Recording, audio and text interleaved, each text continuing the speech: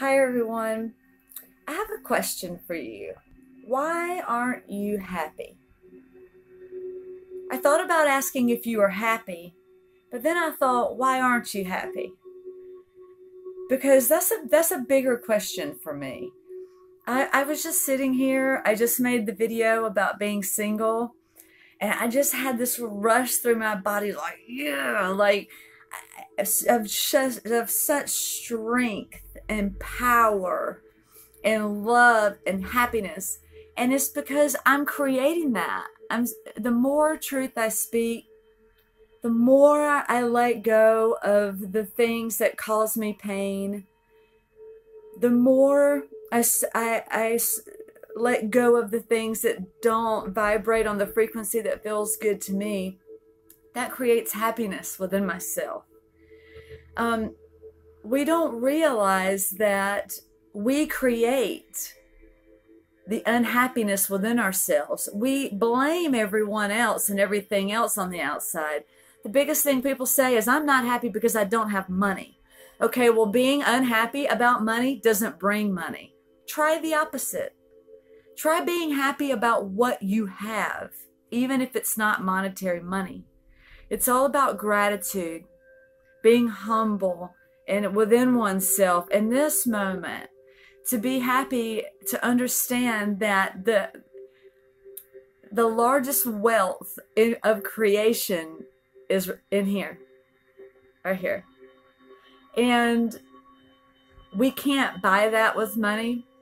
Yes we have to live in this spectrum um, you know and we have to have money sometimes to do things but i'm branching even away from that um, you know, I, I, gave away and sold my possessions last year before I, I, I traveled ac- across the country for five months, walking and living in a tent for three of those months with nothing. I, I transcended every possession that I had so that I could transcend from the attachments that I had within my own psyche. That was an extreme way to do things. I didn't realize I was doing it for that reason at that moment. Um, which was also to ground myself in these activations that started while I was on the road. So, you know, happiness, self empowerment is not selfish. It doesn't come from anyone else, only as a reflection to teach ourselves what we can do and not do within ourselves. The humanistic power lies within thought because thought is energy and motion, and words cast spells. So if in your mind you're playing a victim role, you're not enhancing your vibration. You're staying in that lower realm. And it's okay to still feel sadness. That that's the humanistic part of love. It teaches us to ascend. It just means we don't have to hold on to the attachment of it. I still get mad and angry and embarrassed and all of those things. But as soon as I feel it, I'm like, mm, I know what I need to do with that. Like, I'm like my biggest cheerleader because no one is going to pat your back like you do because no one's patted my back like I do. It's about recognizing self love, self empowerment. Even if you don't have what you want right now, it doesn't mean that you don't have it because everything is a thought, an illusion, until we make it a reality. So if you want your misery to keep being your life, keep being miserable. But if you want to ascend and be happy, shift within the meditative state of mind of who we are, then eh, you know it's time to start letting go. It's real easy to do. If something or someone doesn't feel good to you, time to go. I mean, it, it's really about taking care of yourself, and people will respect you for that. They may lash out at you at first. People don't understand power of self.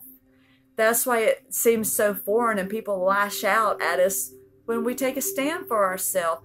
But but just have the awareness, the understanding that those people don't understand you right now and they may never. And but it doesn't matter because the ones that love us, the ones that are connected to our vibration, they understand, even though they may not recognize it at this point, because it's all perception of who they are. And so when someone shifts and grows and and and taps into self-empowerment, it's natural for the ones around us to lash out and think you're changing. You're becoming someone else. I don't recognize you anymore. You know you're you're, you're trying to change me uh-uh i'm trying to change I'm, I'm not trying i'm changing myself. I'm enhancing who i am. I'm tapping into my own frequency. And when we don't come back at someone with that same reaction it sets a different tone. We don't have to react. All we have to do is just say you know enough's enough. And, and the beauty of the humanistic way of life is we don't even have to say anything. Um, I, I like that a lot most of the time. you know, it's just like, it, it's just about changing our thought process, the words that we use.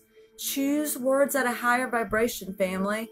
Don't talk about yourself in a low tone anymore because you are not that frequency unless you choose to be. I love you to the moon. Have a good day.